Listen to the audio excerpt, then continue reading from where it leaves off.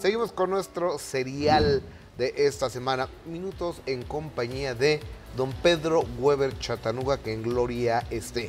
En esta entrega, Chatanuga es un actor, el actor recordó cómo eh, sus diversos y extraños trabajos los llevaron directamente al mundo del entretenimiento.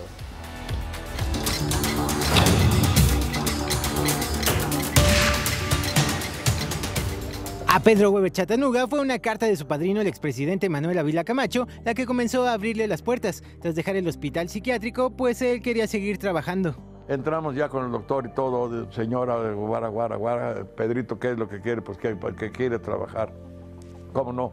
Señorita, deme la, la clase, ¿cómo se llama? La lista de vacantes que hay para el Hospital Juárez. Órale.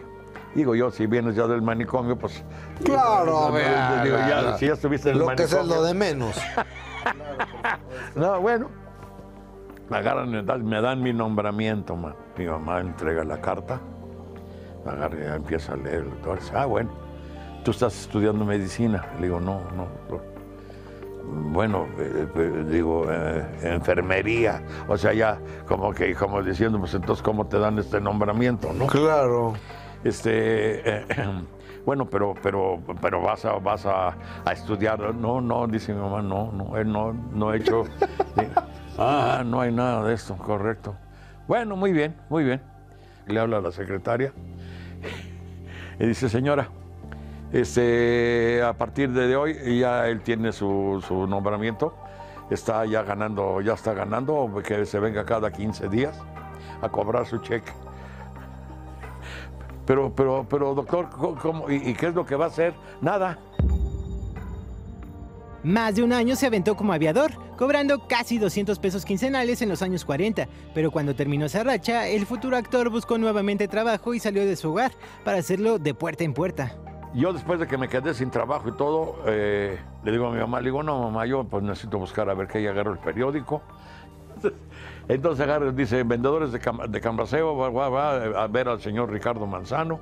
Y le digo a mi mamá, mamá, pues fíjate, yo estoy viendo aquí en el periódico que aquí a media cuadra, en la privada Sidral, hay un señor que quiere vendedores. ¿Qué es cambaseo?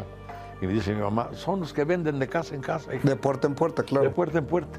Ah, sí, sí. ¿Y qué piensas hacerle? Pues voy a ir a ver a ver de qué se trata. Vender jugos vitaminados fue lo último que hizo antes de comenzar en lo que sería su inicio en la farándula, mismo que arrancó en la pista de baile junto a un conocido personaje en el espectáculo, Adalberto Martínez Resortes. Entonces llegamos al Esmirna, ya sabrás. No, grandes orquestas y gran todo. Y de repente le digo, oye, ese cuate vestido de negro, ¿no es resortes? Dice, sí, sí, resortitos de la resortera. Le digo, hijo, mano, ¿y qué está haciendo aquí o qué? Dice, ah, pues ya me dijeron que viene a escoger gente para su película de baile, mi rey. Uy, le digo, no seas malo, vamos a, vamos a A decirle que... personarnos. Ay, sí, mano, pues si nosotros sabemos bailar y todo. no, hombre, no, ella, ella sabe a quién va a venir, todo bueno. Cuando terminamos de hablar de eso, agarra y me dice, ¿a poco a ti te gusta la cuestión de lo del teatro y eso? Le digo, a mí me encanta, mano, a ti no. Dice, pues fíjate que toda mi familia pues, es gente de teatro. Dice, mi mamá es Carmen Manzano, mi tío es Miguel Manzano, este, eh, ¿cómo se llama? Salvador Varela es mi primo, de toda la familia. Wow. Entonces le digo, pero ¿cómo, mano? Dice, pues tú no me habías preguntado. ¿Quieres hacer? Hacemos una pareja. Y que nos ponemos a chambear haciendo una ¿Y pareja. cuál fue el primer trabajo que tienes eh, con En él? la carpa, en la carpa Teatro Salón Obrero, en la plaza de Cartagena, en Tacubaya, ganando cinco varos diarios, moneda, pesotes de los de plata todavía. Claro, claro. ¿Me entiendes? Y un blog de planillas para cada uno. qué historias de Chattanooga, porque es parte de la base del entretenimiento que conocemos el día de hoy. Los antecesores, los padres, los abuelos del teatro, de la comedia, de la televisión, de la época de oro, del cine nacional.